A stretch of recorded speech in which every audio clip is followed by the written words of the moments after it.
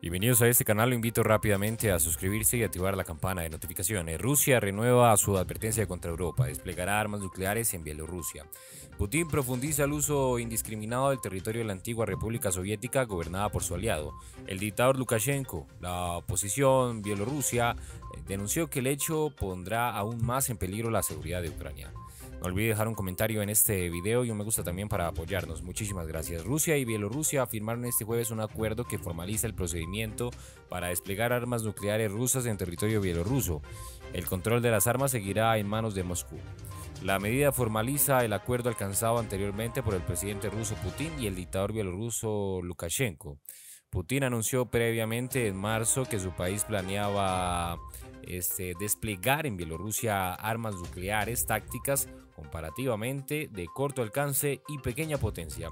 La firma del acuerdo se produce en un momento en que Rusia se prepara para la contraofensiva ucraniana.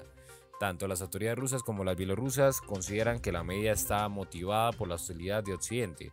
El despliegue de armas nucleares no estratégicas en una respuesta eficaz a la política agresiva de países hostiles a nosotros, declaró en Minsk el ministro de Defensa bielorruso.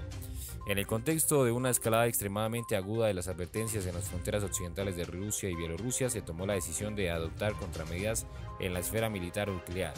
El Ministerio de Defensa bielorruso dijo que el acuerdo se refiere a una instalación especial de almacenamiento en el territorio de la República de Bielorrusia. ¿Qué opina de esta información? Nuevamente los invito a suscribirse. Gracias por estar Noticias al día. De su gestión. Eh, enseguida volvemos hasta allí. Antes, si me permiten, hoy hemos hablado y nos gustaría recuperar eh, esas declaraciones con la embajadora de Finlandia en España. Le hemos preguntado por la entrada de, Finlandia en la OTAN y por tantos y tantos asuntos que están de actualidad en ese país. Vamos a recuperar precisamente esas declaraciones, si les parece, y después analizamos. Hablamos con la embajadora de Finlandia en España, con Sari Rautio. Eh, Sari, ¿qué tal? Muy buenos días, ¿cómo estás? Muy bien. Eh, años eh, Finlandia queriendo por cómo son todos estos procesos. Eh, lo es para entrar en Europa y lo es para entrar en la OTAN. Eh, Finlandia entra ya en la OTAN, 1.300 kilómetros de frontera para con Rusia, eh, un vecino complicado, decíamos también antes. ¿Qué sensación tiene? ¿Qué sensación le ha dejado a su país esa entrada en la OTAN y qué cree que han ganado? Bueno, hemos sido eh, un partenario íntimo de, OTAN ya por más de 10 años y un, un partenario eh, por casi 30 años, así que ya conocemos a la OTAN, ya hemos colaborado, colaborado mucho con, con, OTAN. Pero esto es el último paso que hemos dado debido a la guerra rusa en, Ucrania. Nos hemos dado cuenta que, hay que hacer algo más para fortalecer nuestra seguridad y este algo más ha sido eh, pedir la membresía en la OTAN. Lo hemos hecho porque creemos que en la OTAN eh, podemos tener muchísimo más apoyo de los otros miembros eh, de la alianza, pero también que, conocemos mucho más el, territorio europeo de la OTAN cuando somos miembros de la OTAN. Em, en este sentido, eh, ¿existía algún temor real en Finlandia que pudiera pasar algo con, Rusia antes de, esa entrada en la OTAN oficialmente?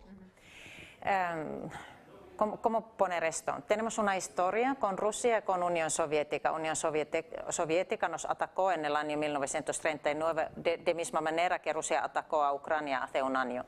Así que siempre ha habido esta desconfianza ah, hacia Rusia. Temor no. Eh, lo que pasó hace más de un año, el ataque ruso a, Ucrania, ha concretizado a los ciudadanos finlandeses que esta Rusia todavía es muy peligrante, que, está dispuesta a tener una guerra eh, y atacar a, un vecino. Y sí, ha habido temor eh, entre los ciudadanos y ha habido preocupación en el gobierno y como somos gente muy práctica, pragmática, eh, hemos buscado maneras de, de asegurar que si pase algo, tenemos, estamos en una alianza y somos más fuertes que solíamos ser hace un año.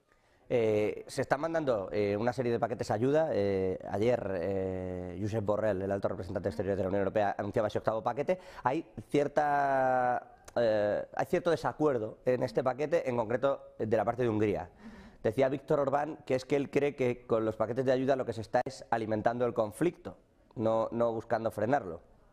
Bueno, eh, esto quizá es políticamente un poco incorrecto, pero yo no creía, creo que Víctor Orbán es el autoridad, la autoridad número uno a comentar esta guerra. Yo, yo fijaría más en lo que está haciendo la Unión Europea como conjunto. Eh, está apoyando a Ucrania ya con miles de millones de euros en lo que viene a materia de defensa. Eh, países eh, individuos de la Unión Europea han, eh, enviado muchísimo material y no solo de defensa, de todos los ámbitos de la vida. La Unión Europea está ya planeando para la, para la segunda fase, para la reconstrucción de Ucrania y esto va a ser un proyecto enorme. Yo veo más la unidad europea en el apoyo de Ucrania y si hay alguna voz de vez en cuando que no está de, acuerdo, yo no prestaría demasiada atención. Eh, y con las voces que sí están de acuerdo, eh, dice incluso la OTAN, dice Stoltenberg, eh, dice Borrell, que si hay que firmar una paz, hablando de, un, término de conflicto, cualquier mm, negociación debe partir primero de la base de lo que pida Ucrania. es decir... Claro, y en esto estamos de acuerdo. Ucrania sabe lo que necesita, Ucrania sabe cuáles son las líneas rojas. No puede ser Rusia quien nos dicte qué pasa en, Europa en 2023. Eh, no estamos viviendo en un mundo en que hay zonas de influencia. Es Ucrania quien decide su destino, nosotros apoyamos. Es claro que para cada, conflicto, para cada guerra se necesita también una, una solución, resolución negociada. Eh, por el momento no estamos en una situación en que se pueda empezar eh, en, serio estas negociaciones, pero Ucrania nos dirá cuándo estamos. Entiendo, estamos de acuerdo también, está de acuerdo con, esa afirmación de Kiev, eh, de, Zelensky, eh, que asegura que en realidad congelar el conflicto no sirve para buscar la paz, sino para que se rearme Rusia, dice el presidente ucraniano. Eh, bueno, yo en esto yo referiría también a, las experiencias de la Segunda Guerra Mundial. Uh, habían países bálticos, por ejemplo, en que, se intentaba congelar la situación. ¿Y qué pasó? La Unión Soviética eh, expandió. siempre existe este riesgo eh, de que la congelación en, en, efecto es solo una pausa en una guerra interminable. Eh, ¿Cree que va a escalarse más allá de Ucrania el conflicto? Intentamos hacer todo lo que se puede para, para evitarlo. Nosotros si hablamos de la Unión Europea, de la OTAN, claro que no, no, queremos escalar. Ha siempre sido Rusia. Rusia ha empezado esta guerra, Rusia ha siempre sido el actor quien lo ha escalado. Le, hemos pedido, le hemos requerido a Rusia que no escale, está en, las manos de Rusia, pero nosotros hacemos todo lo que podamos para que no se escale. Eh, una pregunta, saliéndonos de este marco, pero, pero en esa línea, digamos, mezclando lo energético y lo no, eh, las voladuras del Nord Stream, las famosas voladuras del Nord Stream. Eh, no sé si tiene una opinión o si, quiere que lo, si puede o quiere comentarlo, pero ¿qué cree que pasó allí? Em, Porque hay teorías para todos los eh, gustos. hay, teorías para todos los gustos. Las últimas, eh, los últimos informes eh, dicen que sí, que habían barcos rusos, tanto, tanto submarinos como, como no submarinos en la, en la zona en tiempos de este, esta explosión. este acto iría muy bien eh, en la línea de los actos irresponsables de Rusia en el pasado, así que lógicamente se podría pensar que ha sido Rusia, pero, pero claro que estamos en las manos de los investigadores. Sí, que en ello están además los investigadores alemanes que están haciendo un trabajo que no debe ser fácil, eh, por, por, todo lo que van encontrando y, por lo difícil que está siendo ¿no? esclarecer todo esto. Sari Rautio, le agradecemos este ratito aquí en, la embajada, eh, en su casa, embajadora de Finlandia en España. Un placer, gracias.